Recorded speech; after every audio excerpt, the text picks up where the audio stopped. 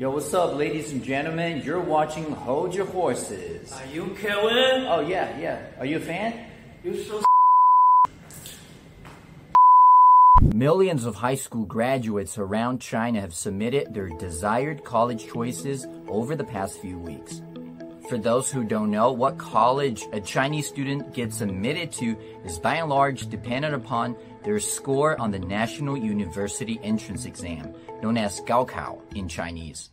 This is the world's toughest and largest exam, the Gaokao. It is considered a relatively fair way to screen and select candidates for higher education institutions and will have a large impact on their future. Although the Gaokao is seen as China's equivalent of the US's SAT test, the two systems are quite different. Your three-digit Gaokao score is the sole determinant to university admission in China, and it only takes place once a year. Whoa, whoa, whoa. I know it's supposed to be the fairest option given the circumstances, but that still sounds terrifying. By comparison, I know in the US, admission decisions are way more personalized and considerate. American universities also take into account your family's wealth and influence. For instance, studies have found that colleges are more likely to recruit at high schools with wealthy students than students whose families are middle class or poor. Okay, okay, I, I know what you're probably gonna say. It might seem a little elitist, but as the saying goes, the apple never falls far from the tree. So I really think it's one of the best ways to scream for greatness. Wharton, the Wharton, hey, the Wharton School of Finance right here. The Wharton, the Wharton School, the Wharton School of Finance. So I went to the Wharton School of Finance, which is considered the best business school. Okay, got to be very smart to get into that school. Very smart. More importantly, students' personality is also evaluated for admission to elite schools like Harvard. Apparently, for some reason, which I'm sure is totally legit, Asian Americans fall short in that department. I mean, look at these kids, for example. Do they look like Harvard material to you? Do they look like the future leaders and brilliant minds of America?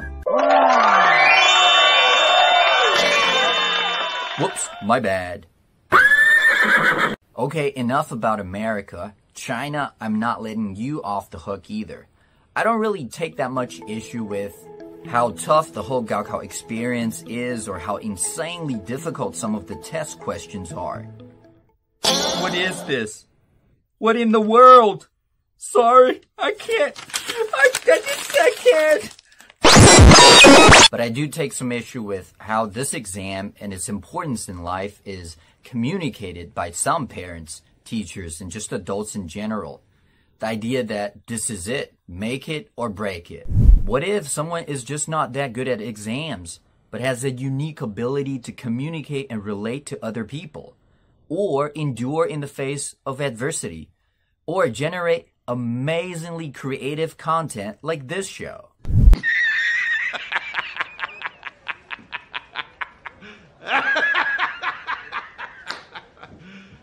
You serious? Okay, this may sound a little trite, but you're not your test score. You're not what school you graduated from.